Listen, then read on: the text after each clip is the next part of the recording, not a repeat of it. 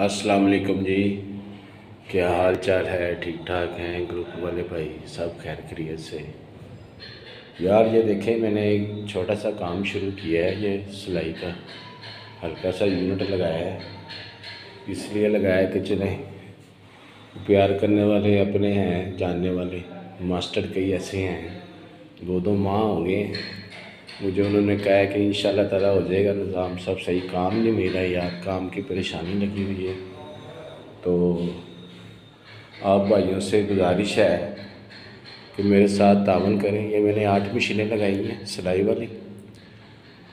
और जो है, साथ में मैंने अवलाक वाली भी मशीन रखी हुई है। और लड़कों के लिए रिहाइश का भी बंदोबस्त रखा हुआ है। ऐसी है कि इसके साथ कब ये मशीन है अवलाग वाली काम का बर्डन ज़्यादा होगा तो मैं मशीनें भी ज़्यादा कर लूँगा। तो ये साथ मैंने ये वाला कमरा रिहाइश के लिए रखा हुआ है।